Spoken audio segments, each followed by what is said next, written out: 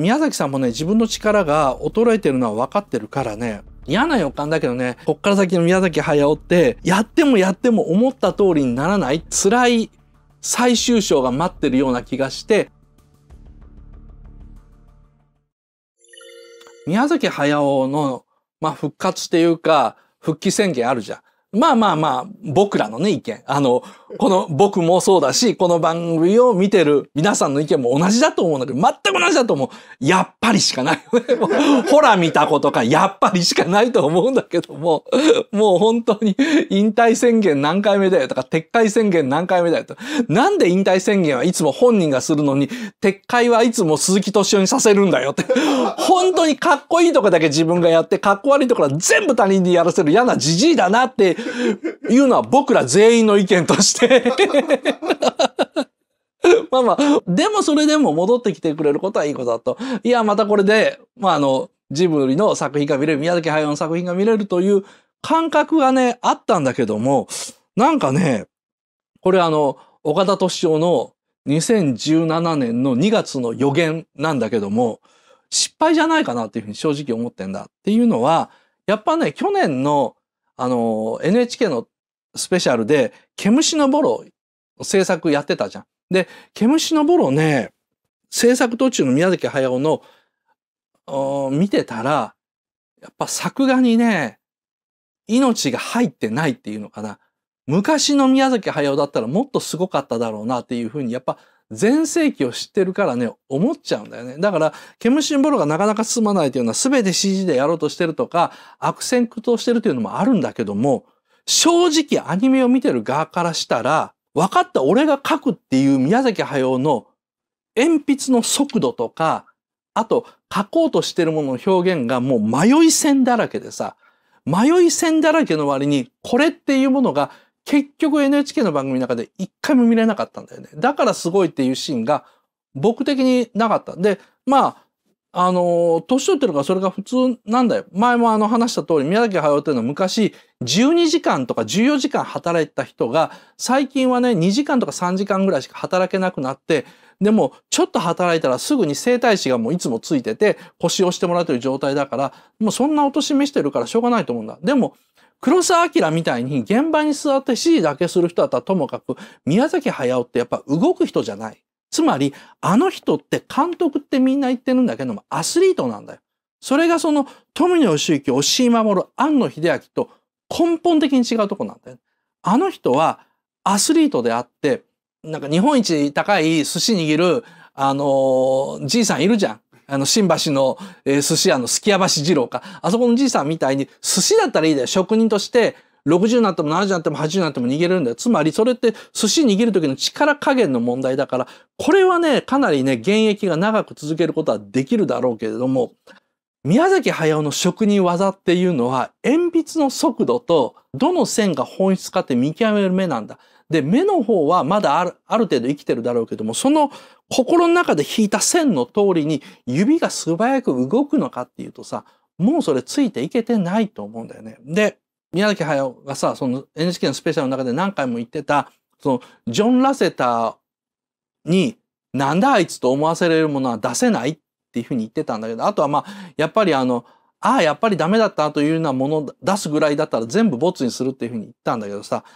やっぱ宮崎さんもね、自分の力が衰えてるのは分かってるからね、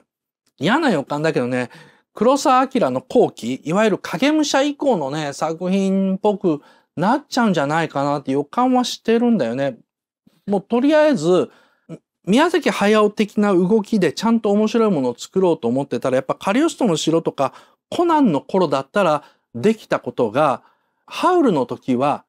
背景とかスタッフとかの総合力がいいんだけども、宮崎駿のイメージ力っていうのがかなり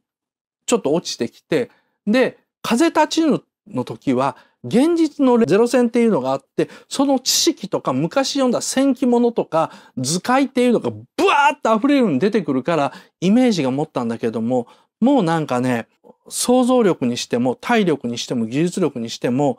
かなり峠を越えてることは事実だと思うし、なんか、ちょっと今回の復活は、俺自身、なんかこんな感想を持つとすごい意外なんだよね。宮崎駿が引退するっていう時は絶対戻ってくると思ってたし、で、戻ってきてもっと作ってほしいと思ったし、宮崎駿なんかも手塚治虫と同じようにペン握りながら死んでもいいんだよというふうに正直言って思ったんだ。それはどんなクリエイターもそうだよ。もう僕だって本当にパソコンの前で死ぬのが、ま、マジで理想の死に方だし、あの、誰も多分物作る人間とか表現してる人間っていうのは、あの、布団の中で家族に見とられながら死にたいと思ってないよ。やってる最中に、できそうだよし、こ、ここだよなと思ったところでガクッと力尽きるのがさ、いっちゃん幸せな生き方に決まってんだから、宮崎駿もそういう生き方させてやりたいじゃん。でも、なんかね、こっから先の宮崎駿って、やってもやっても思った通りにならないっていうのの繰り返しで、なんかね、辛い最終章が待ってるような気がして、いや、なんか今回の復活は失敗なんじゃないかなって予感がするという話でございました。あの、ジブリが新人募集始めたというやつで、まあ僕 Facebook にも書いたんですけども、宮崎駿が新作のアニメを、それも長編ですよ。長編アニメを作るので、ジブリでは新人アニメーターを募集してますというふうなことで、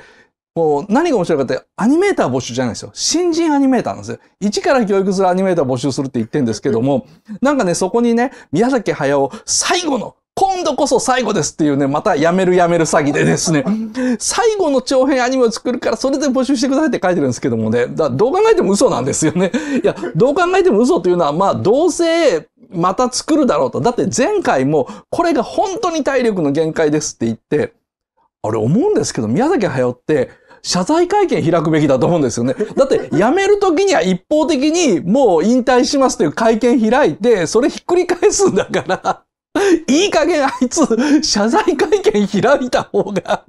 いいと思うんだけども。だって自分が辞めたいっていう時だけ勝手に記者会見開いてですね、結局それで風たちの動員につなげてるわけだから、やるんだったらやるで、まず謝ってからやれよって思うんですけど、まあね、いや、謝らないでしょうね、絶対に。で、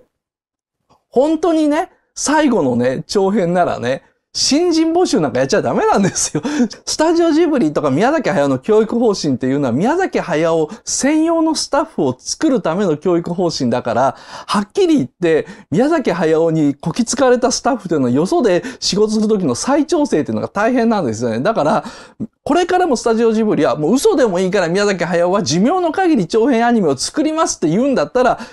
ゼロから経験者、経験してない人でもいい構わないから来てくれっていうのは構わないんだけども、なんかね、最後の長編だ、新人来いって言ってんのは、なんだろうな、このブラック企業についてこれるやつだけ入ってこいって言ってるようなもんでですね、あんまりやり口として好きじゃないんですけどもね、もう本当にね、あの、大阪のですね、あの、なんだろうな、今宮恵比寿から天ガチャのあたりにですね、年がら年中店じまいて出してる 店があるんですけども、本当早尾くんはそれになってきたなと思います。えー、宮崎駿の新作タイトルだけ公開っていうやつで、まあ、あの、新作やるのはもう決まってたんだけども、鈴木敏夫さんがタイトルだけ言ってた。だタイトルは有名な、君たちは何のために生きるのかだっけ？なんか、あの、戦前の教育書みたいなやつですね。教育書というか教養書みたいなやつで、三太郎の日記と、あとその禅の研究と、あと君たちは何のためにっていう、なんかこれがなんか三大、なんだろうな、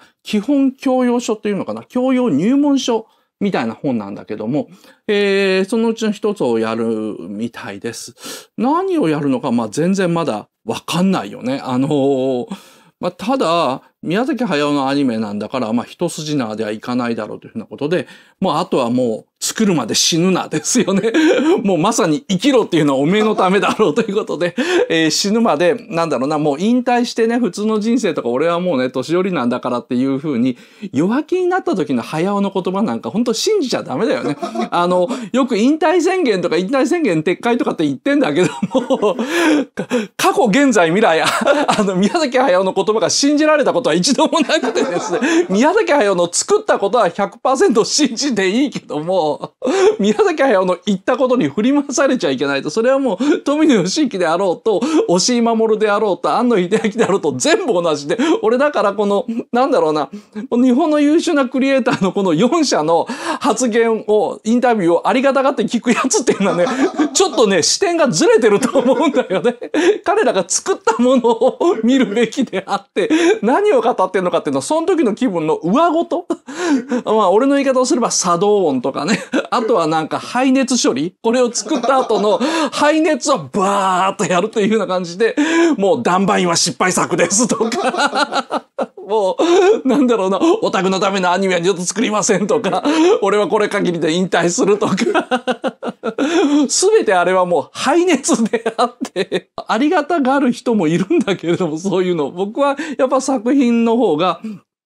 なんかね、あの、やっぱ好きなので、そっちの方で見ていこうと思います。だから宮崎駿も、新作はすごい期待してますけど、新作周りで、その、早尾鈴木敏夫コンビが何を言うのか、もう本当にね、あの、不倫事件で宮迫が何を言うのかと全く同じ視点で、ニヤニヤしながら見てるんですけれども、どうな、どうなんでしょうか。